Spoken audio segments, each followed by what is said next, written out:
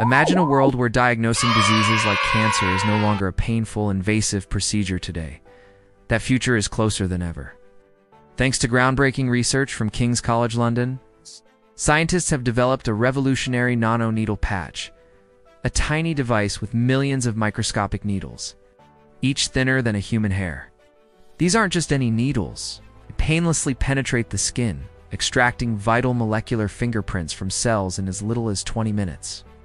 This means an end to painful biopsies, offering a quick, non-invasive way to detect and monitor diseases like cancer and Alzheimer's. The potential is immense. From rapid diagnosis, during surgery, to real-time monitoring of treatment, this technology can even be integrated into everyday medical devices. This is more than just a scientific breakthrough. It's a new dawn in patient care. The nano-needle patch from King's College London is truly the beginning of the end for painful biopsies.